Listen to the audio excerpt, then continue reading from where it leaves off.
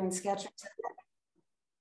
And then when I went, uh, when I was in New York earlier for the importer, uh, it was another owner founder. And what, what he taught me at 26 years old was, and I started, I started, um, I was designing product, developing it, and then I was actually selling it. So I was like doing the, the full circle.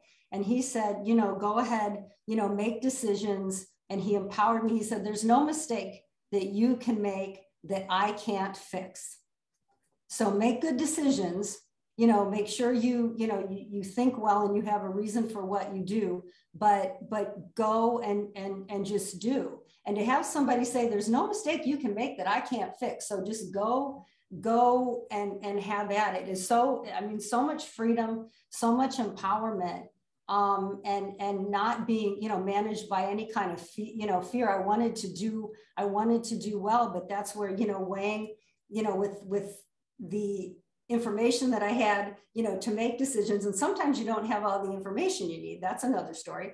But, you know, that just, that allowed me to just keep, you know, to keep growing in the position. But more importantly, it really gave me a very, very critical management tool. So, you know, as I, you know, joined Skechers and started moving up from, you know, just managing kids shoes to managing, you know, product development and working with more and more people, you know the fact that that how you how you how you teach people and how you lead as a manager being where you empower and you you know you bring information to light and then you talk about when a decision was made if somebody makes a mistake there was something that it's usually not because they don't care. It's they didn't have all the facts then maybe didn't think it through enough but that's where education you know comes in as far as just working with people, you know, not managing by fear, not yelling. I have I I have never liked being yelled at.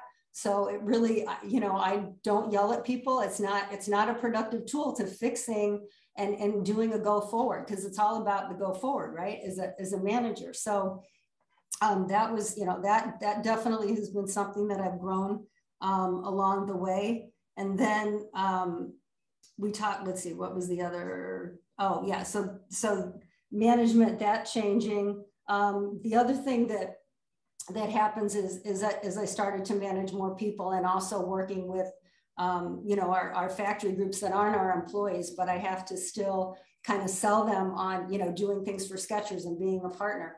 Um, I came up with um, something that I called uh, CPR.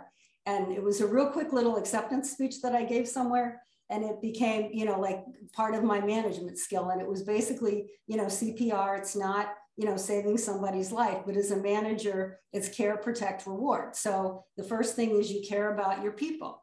The second thing that you do is you protect your people. You protect them from making mistakes. You know you protect them from you know if, there's environment in the workplace that's not comfortable you protect them from that and then the last thing you do is reward them. And that's not only financial, that can be just a thank you or a pat on the back. So, you know, CPR is part of what I've stressed to, um, you know, my management team and our factory management team about how to, um, you know, how to treat people. And it's, it's been pretty successful actually.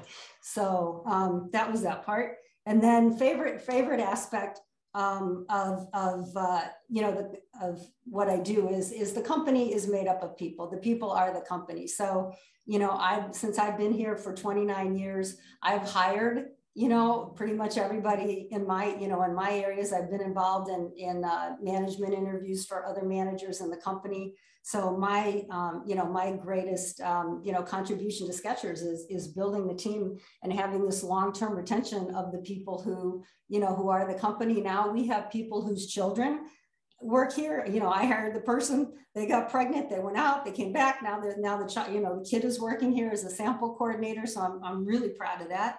Um, and just building up, you know, these types of relationships um, throughout the years. And then um, conversely, the people being, you know, the most successful part, guess what? The hardest part, it's not that we always say it's not about the shoes, it's the people because of, you know, just all the various, you know, people issues that happen. And there's no, you know, there's no playbook because people are all different and, and the issues are different. You know, COVID, um, you know, the fear factor, right? We've never had to deal with, you know, people being legitimately just paralyzed about, you know, returning to an office right? We just, I mean, that that wasn't something that you know prior to two years ago that we had to deal with. So now, um, you know, with with so many people to manage, that that's been also the you know the most challenging part of of what I do. Thank you so much for talking about like the emphasis on people and respect because those are two things that I personally value. Um, and just empowerment is just a very important part in my life and how I interact with others. So thank you for sharing that with the group. Um, so moving on to a question that's specific to you and your unique role, and also in thinking about my own future after graduation. Um, I was wondering, as the highest ranking female employee, which is a beyond amazing accomplishment, um, how have you seen your identity as a woman challenged by such a male dominated industry such as footwear? What issues have you encountered? And then also on the flip side, um, what's the best thing about being a woman in the footwear industry? And how do you see women transforming the face of these global companies? So, you know, obviously, this is why I had to also, you know, tell the story about the Air Force Academy because when I, you know, contemplated that, um, you know, I, I knew that there were going to be difficulties, um, you know, with being in, you know, this like would have been the second year, you know, that women were accepted. Obviously, more has come out, you know, um, about abuse and, and, you know, many things that, that happened at the different military academies with women. But I wasn't oblivious to that. So, you know, thinking about that, I was kind of, I guess, you know, like kind of steeled that, you know, there were going to be some obstacles um, as I as I got into, um, you know, a, a, much very male um, oriented business. What happened though, again, back to being really fortunate about, you know, my my mentors and the owner founders. If you're if you're the owner of a business, you just want a job done, and I, you know you pick the most qualified person and they were very both both uh, both of them have been very you know oblivious to gender race anything it's, it's still very performance based which is also you know empowering so i've been been fortunate about that um, as we as we traveled though you know and i was representing the company especially you know korea was you know they they they thought I was a secretary. They wouldn't look me in the eye. They didn't want to have, you know, like they would look at, you know, look at the male who was with me to keep and just kind of very, you know, be very dismissive. We had some Asia partners too who who kept saying, well, you know, I'm going to call, you know, Robert and I'm going to ask him, you know, for orders.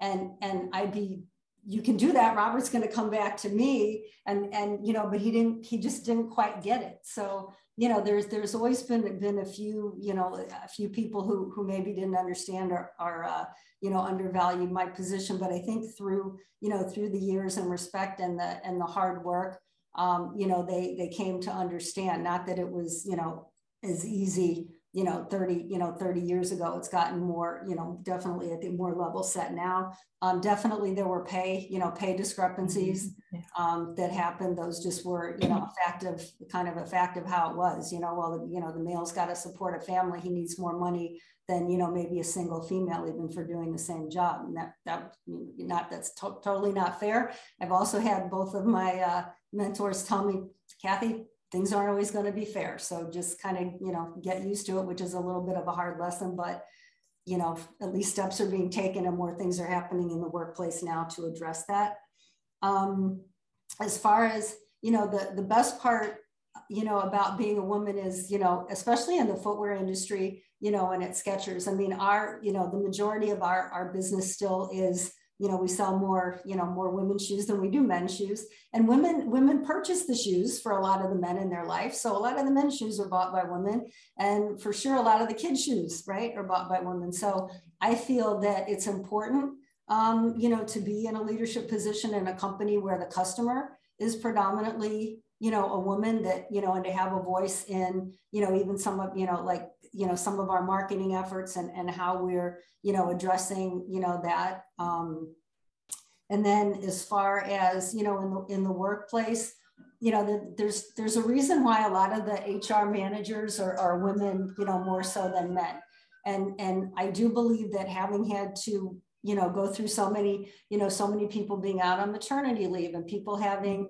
you know childcare issues when they want to return to the workplace and trying to work through you know through these issues that were more specifically you know women oriented and trying to come up with solutions you know and flexibility to keep um, you know, the really talented women in, you know, in the work workplace and able to, you know, return to work, um, that you know we became we became really good problem solvers. We became more nurturing. We became you know think outside the box um, you know creative thinkers about how to you know how to work through some of these issues because we don't have a you know a, a daycare um, program here although we have a lot of people you know advocating for that. So i do feel that you know that's been that's been a strength. I've had a lot of people who've been able to have you know have me involved in their career and have honest conversations with me that i don't think they would have been able um, to necessarily have um, with a male counterpart. So um, I, you know i think I, I, I think there are some definite strengths to having you know to having women in upper management here for sure. Yeah thanks for shedding light on like the strength and solidarity in womanhood in the workplace. I think it's a really important topic um, so I guess the next question that I have is COVID related, and you already spoke on this a little bit more about people being afraid to come in. Um, but I just wanted to shed light on this because I know the past couple years have been hard for everyone, and even this fireside chat is virtual, so we're still in the pandemic and it's still an issue. Um, but how have the last couple years impacted aspects of your work?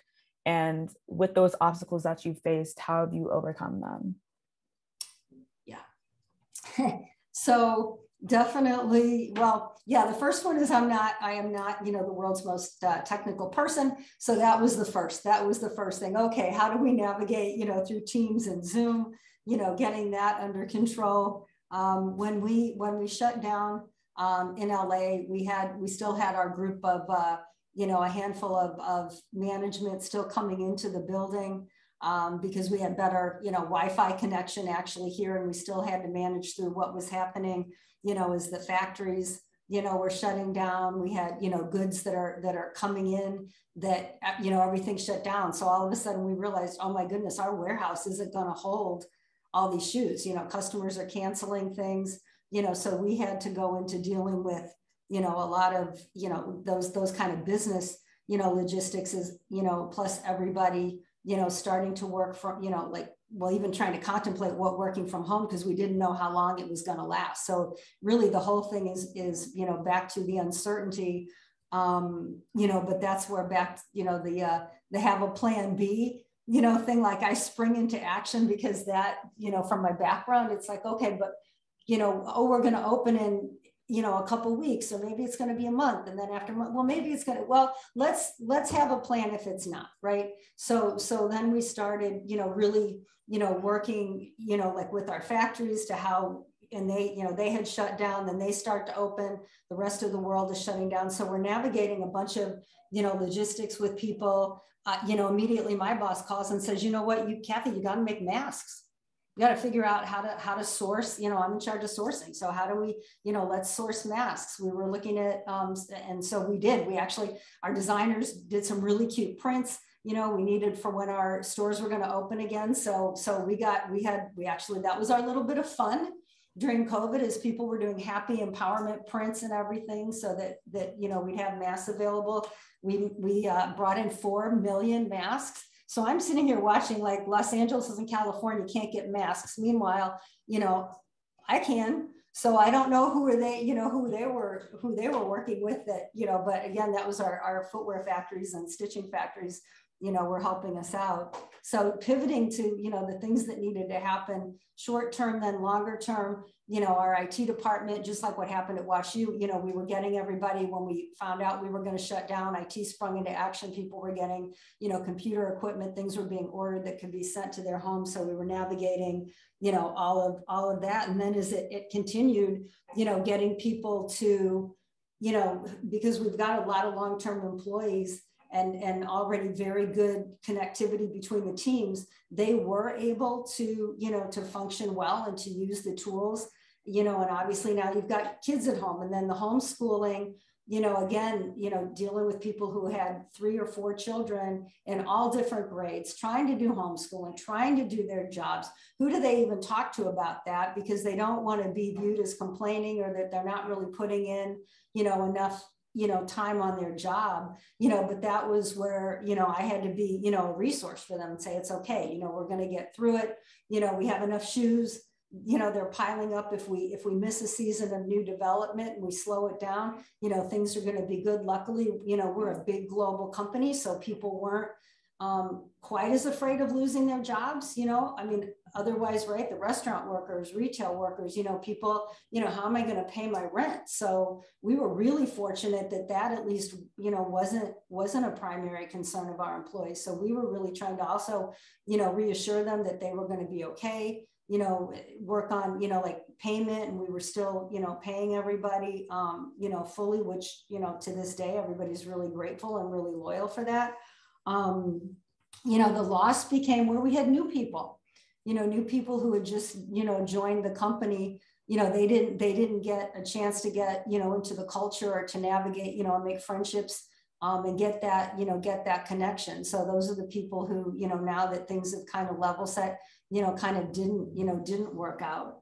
um, you know it's important for us to you know to be able to travel you know, and work with, you know, the factories. We we go there and we do, you know, we make trials of samples. You know, they go back the next day, they bring us a new one. You know, we've got a whole team and we're and we're, you know, creating and making everything happen in, in like a, about a two week time is how we've done it in the past. You know, so now again, that just became, you know, learning, you know, what we can do remotely. And, you know, it's like in any kind of crisis, you know, when you got, you know, whether it's a uh, you know, a hurricane, tsunamis, um, you know, fires, you know, where the resiliency and, and, and people's, you, you, know, the adrenaline starts flowing and you just kind of, you, you do figure it out because I think there's something in our, you know, wiring as, as people that, that we do that. And, and luckily, you know we we we did a really outstanding job. I'm i'm so proud of the creative people because they really they thrived more than i even thought they would you know the, instead of shopping for research right? Thank you you know to the internet for providing the tools that we needed to be able to create relevant product. Um, again long-term partnerships it would have been hard to bring a brand new factory you know, into our group, but because we had existing relationships and, and people with, you know, long term who know what our requirements are, even without us being able to be together in the same room, they really, they really pulled it together. Um, you know, and now as we emerged from, you know, we still um, got hit with the South Viet, Vietnam issue. Um, Nike and Adidas really got hurt. We don't have as much of a sourcing presence there, but you know, the factory has been very touch and go even after they they opened you know, and this is back to, you know, here we are, you know, you look at the United States and every state's got different rules and, you know, do I wear a mask? Do I not wear a mask? Do I need a vaccination? Do I, you know, and it's a little crazy. Well, you know, in, in Vietnam, it's like there's a staff member who gets COVID and they, they quarantine the whole entire factory. You know, they shut it down. It's two weeks. The government comes in, everybody gets tested. And, and so they, you know they are controlling that and you know it's thinking about that level of control here you know in the united states i mean you you know nothing like that would ever work but it's a very real reality to those of us you know sourcing you know in vietnam and china about how seriously you know they take even one case and will completely just you know shut down a whole factory or a village or or whatever to do all the um, you know to do the necessary testing so you know now as we as we come out of it um, it's still, you know, uh, here we go, Om- Omicron, you know, so the fear and everything, it's really the, you know, the biggest challenge that we have. Again, it's not the shoes. Now it's dealing with vaccinated people are getting COVID.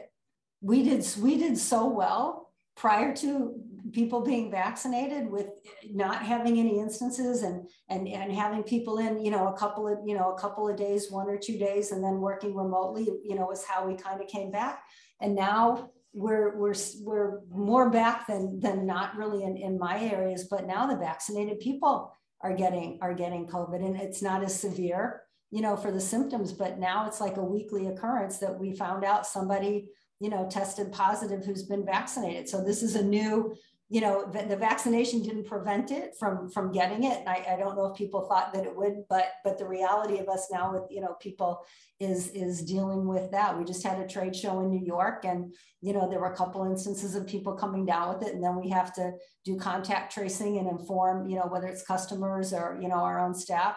So that's a new reality that you know we're that we're dealing with until you know one day hopefully not. But so yeah, so it's been, you know, that's, I mean, the challenges are just its problems. It's back to the problem solving skills that, you know, we have our policies, we have what we know we need to do.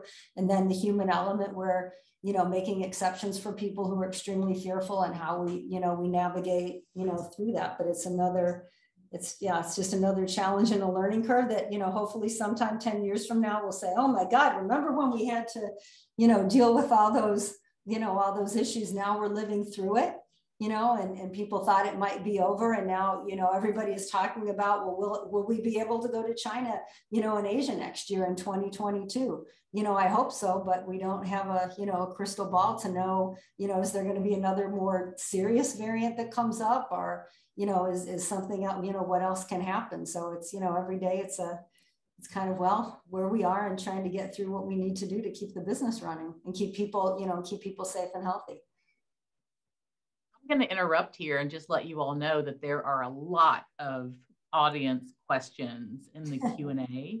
Um, so Eliana, if you have one more question, um, then I would like to ask some questions from the audience. Yeah, for sure. So my last question um, also kind of had to do with the last couple of years. And I was just wondering, because we operate in a society where social awareness, cultural awareness, and sustainability is crucial, to the successful operation of a business, like at least in my opinion. Um, how do you see your role in Skechers enhancing that? Um, and how have you fostered or helped foster cross-cultural connections in this increasingly globalized society that we live in through Skechers? Yeah, that's a really good question. So um, in, in product development, I mean, just in dealing with our with our different markets, because Skechers is a global brand, 60% of our, our business is international. Um, and our biggest, you know, outside of the United States um, base is China. So, um, you know, we, we do special, you know, special product for different, you know, for different markets, you know, and special makeups that address, you know, their, you know, various product needs and what's happening, um, you know, in their market, you know, as well as obviously their seasonal, you know, nuances throughout the globe. Um, we do have, the greatest breadth of product of any of uh, the, the major footwear brands between men's, women's, kids, sneakers, sandals, boots. So, you know, we're, we're not targeting as much a specific group because we really are a family, you know, we target, it's really, you know, like we're a family brand um, with comfort. But as, you know, as we, you know, watch what, what happens, you know, obviously we weren't getting, you know, any cotton from um, you know, the Xinjiang area in China, but that, you know, that became issues that we, you know, have to deal with. And, you know, I get those, those questions come to me since I have sourcing. Um, you know, sustainability is, is also, you know, um, on my plate to deal with, with, um, you know, the factories I have, you know, the compliance issues, the human rights. Um, that's what I said about, you know, learning to learn. Um, very early on, I got involved in our, um, you know, our digital and ecom business and what it was going to take to grow that because I thought it was important to, um, you know, the company um, overall success. And it became very important during COVID. So, you know, I was help, I was instrumental in that part. And then, you know, with the sustainability and watching, um, you know, what our competitors are doing and what even other brands that that have just complete sustainability stories are doing um, between material suppliers, and what the factories, you know, the factories are doing as far as their own emissions and everything. So I am heavily involved in that, and um, you know, working working with the factories to come up with you know our plans and what our you know setting setting our goals. So we're we're working on that um, now to make sure that we're you know we're still aware of all those um, you know of all the of all the issues, and then and then really using our relationships to you know, but yeah, hold, you know, hold our factories accountable. And they all, they all realize these things too. So they're like Skechers, what do you, you know, just tell us, you know, what we need to do. And, and we're working on setting the goals and everything. We have some great, um, you know, women's programs and everything in our, in our factories that, um, you know, we work with our, our compliance team to come up with because we feel women's empowerment um, is important. Um, so that's, yeah, that answered, I think, I think some of that. So thank you so much. Hey, I have some questions from the audience. Our first one comes from David Simpson, who is a 1980 poli sci grad.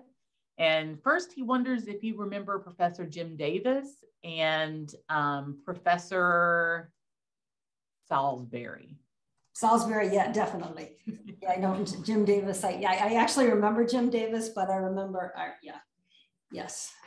Um, now that people throw so he's uh, he's also wondering if you could uh, talk about a person who has had a, a real impact on your profession as a leader and maybe someone who's mentored you and what impact they've had on your life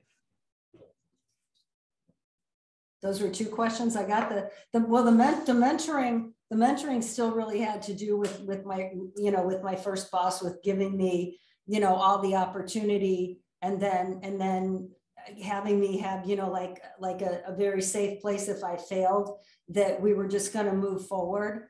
Um you know so that was that was really from a from a mentoring um you know perspective that was really that was really critical. And i got to do um, you know a lot of a lot of travel where people were you know you're sending you know you're sending her and, and uh, somebody else from our hong kong office I mean, we went up you know into um, Beijing, Shanghai, we were all through China, and, and people would just stop and stare at me because they'd never seen a Western woman before, you know, in these factories. And, you know, so kind of um, there was something about, you know, just being fearless and being able to do that. A flight got canceled. You know, well, how are we going to get back? I said, well, we're going to take a train. And somehow I didn't, I didn't speak, I didn't speak Chinese. So he did. And he was petrified that we were going to, you know, just get in with all these, you know, people you know, it wasn't a business class situation, but we were just going to get on this train for 36 hours and make it back. And, you know, we just, we just did, but that was, that was where I, you know, had somebody who, you know, that was just what you, what you do. I was bound and determined that I was going to, you know, make a success out of this. And again, just, you know, getting, getting the opportunity to do all that and trying to make um, the best, you know, the best that I could with it.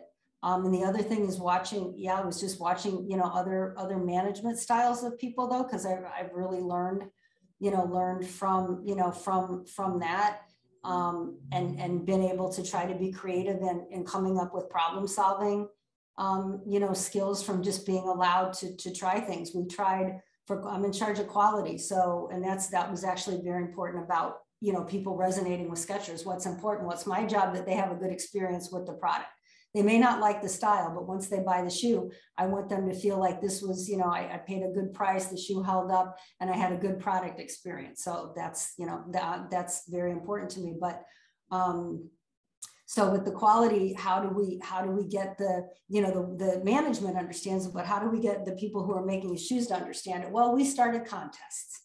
So and that was you know to and so they when they win and they have the best quality of the day they get a little you know they over the over the production lines they got like special flags and banners that said you know they were the number one quality and we, we kind of gamified it a little bit but it became really important to to them so just trying to think of creative outside of the box um, you know solutions and a you know and, and being empowered to be able to to do that was important too Can you speak a little bit more about the ethical concerns that you run into in your position, especially when it comes to um, sourcing from other countries? So we um, right now our predominant sourcing is really um, China and Vietnam, a little bit um, Cambodia, Indonesia, um, so we have long-term factory partners. We do have, you know, we have our own compliance team. So we're doing, you know, our audits. We have our own, um, we have about 180 quality control um, people who are in the factories daily, monitoring the quality as well as obviously, you know, they they're there. So they're, you know, making sure that, um, you know, everything is is running, you know, as it should be. Um, we have, you know, the I mean, obviously they've all signed their, you know, agreements about, you know, human rights compliance. Um, and especially, you know, as with us being, you know, a public company and a brand, I mean, that's a very, very serious, um, you know, issue, you know, with us. They, they know that if there's any kind of, you know, infraction, um, you know, we can't do business with them because we're, you know, we're a public company and we're beholden to our, our shareholders, um, you know, for that. So, uh, you know, it's an area that's got a lot, it's had a lot more light shown on it in, in recent years, you know, than, than when, you know, than when we, we started. But, you know, I know for the, you know, for our level of factory, um, you know, every, everything is above board and, and in compliance. And we do business with, you know, there's other Costco and other people that they also obviously have their own independent auditors that go into our factories um, and everything. So, so that's all well and good, but there are, you know, having, having traveled enough, I mean, there are, you know, there are, there is a whole other level of, of, um, you know, factories out there too, especially making for the local market where it gets, you know, where it gets a little, you know, a little, a little dicier. Um, but yeah, so well, I have a monitoring. Thank, thank you very much. Um, I have one more question, um, and it's it's really a conglomeration of a bunch of questions that I bet are coming from students and parents on the call. Um, a lot of questions about um, how you learned about potential career options and um, which uh, which aspects of your education uh, really factored into your success. I heard you mention writing at one point. Mm-hmm. Um, and also, uh, if there, if you have any suggestions for students who might be interested in an internship or um, maybe a position as a new graduate at Skechers. Um, so if you could just talk about that transition from college, liberal arts degree into the world of work and um, what suggestions you might have for them. So yeah, and we at this point, you know, especially with COVID, it made it, you know, even harder for, for things like internships. And, and those are always tricky for businesses because the person, you know, ends up, you know, we're, we're working with them and then and then they end up leaving or they're here for such a short time that we you know they're they're kind of shadowing but they're not really learning yet because they're just seeing how something works. And by then the internship you know is sort of is sort of over because especially with the you know with the sourcing and, and like the product cycle you know of a product from you know like design beginning to end to when you get it back and get it into a you know into a store is around a year you know so normally an internship would be would be you know small a shorter time so those are those are always a little bit um, you know, a little bit trickier. So we haven't um, actually been able to, to do those. Um, you know, when people, when people start here, we have a lot of college graduates who start um, in, in, a job that we call it's a, it's a sample coordinator. So we have showrooms here. That's what you see behind me. Um, you know, and we have to keep the shoes in a certain order. We have to send shoes out to different accounts. And, um, you know, it, it's funny because it's like, and it's a lot of, you know, you're changing out the displays. It's got a lot of similarities with working working in retail. But what they what what the the smarter people gather is that they see, okay, new shoes are coming in, old shoes are going away. What are the details of the shoes? What's a color story of a different shoe? And they start to like pick up a lot of other things about the shoes. And then that became the stepping stone for people that right now are VPs in the company so, and this was part of the, you know, and I was like the original person even starting, you know, it, it's like, okay, I had to teach, you know, here's, here's how the order that the shoes are going to go in in our showroom. Here's how we're going to present them and teaching them, you know, how to talk about the shoes and all that. So it was like the entry level position. Um, and, and we have people who, who when they interview, you know, with, you know, with a college degree, they're, oh, that's, I mean, you can tell they're, they, they don't come out and say that that job is beneath me, but you can tell that that's what they're thinking. So, so then I start talking to them about what, you know, what the foundation is of the learning, because all the questions that are, they're going to ask, if they're really paying attention to what they're doing, they're, they're going to see it. They're going to understand you send shoes to an account oh, okay, so we've got our own retail stores. We deal with third party accounts. Where did the shoes come from? Did that shoe come from China or Vietnam? Oh, they're sourcing. How does the sourcing work? Oh, you've got, you know, what, what, what are the price? Oh, this shoe, this shoe is going to close out. Why didn't it, why didn't it work? Oh, this other shoe is a bestseller and everybody wants these samples. Well, what's making that shoe work? What is it that's resonating with the consumer? Are we marketing it? So you can like, right, you can like, this just becomes a whole, you know, all these different questions that lead to the other positions in the company once they, you know, kind of get a foundation. So the importance of, of trying to get in you know, to, to a company and being willing to start on something that you might think is at a lower level. But, but as soon as you get in, you can see that the questions about the business and peeling back the layers of the onion about those things will resonate and then you know quickly do you know the bright people with the talent you know move move beyond that and move up but they started with a very solid foundation so wonderful so i am sorry that we've reached the end of our time for today i thoroughly enjoyed this um, I, uh, I've uh, ordered a lot of Skechers shoes during the hour that we've been on this. I'm, I'm kidding, but I might afterwards. It is, uh, it is the season. Um, I want to really thank you, Kathy and Eliana, for taking time away from your very, very different but very, very busy um, schedules and celebrating the power of arts and sciences with us. As Dean Hu mentioned in his welcome, the new strategic plan for arts and sciences was just made public, and we'd like to end by sharing a video that celebrates our new vision for arts and sciences. Also, a link to the strategic plan website is in our chat. I hope that you will each check that out. Thank you again for your time and attention. I hope you enjoy the rest of your day. Yeah, I want to thank everybody for joining out there. Thank you.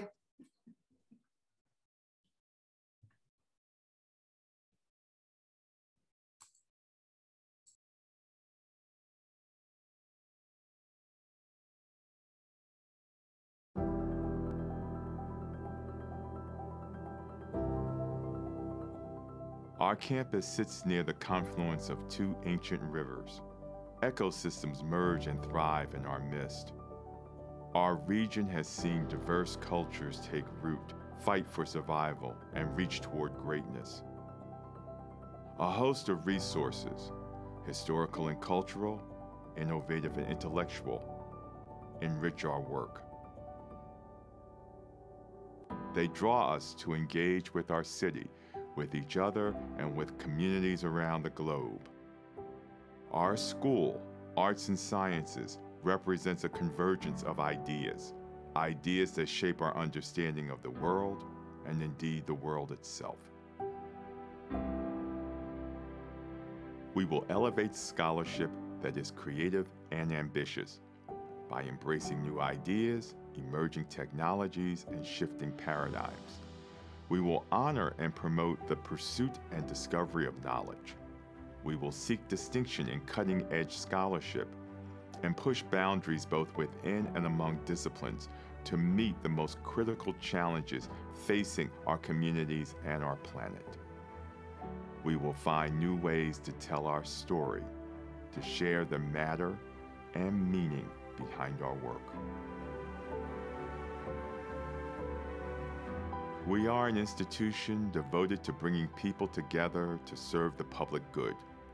Our partnerships here in St. Louis and across the region will identify shared goals, and we will pursue academic and educational excellence that positively impacts our communities.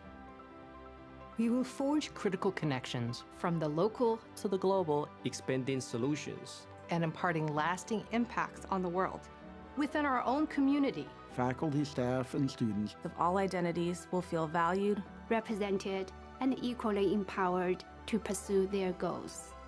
Here, we will create meaningful connections with our peers, our mentors, and the St. Louis community. We will gather knowledge and learn how to apply it to build lives filled with meaning and purpose. We will go out into the world as engaged, active, active, active, active, active, and impactful members of our communities.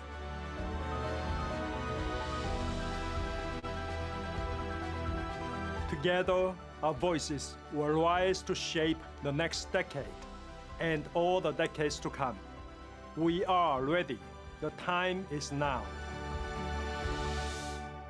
Welcome to the Decade of Arts and Sciences.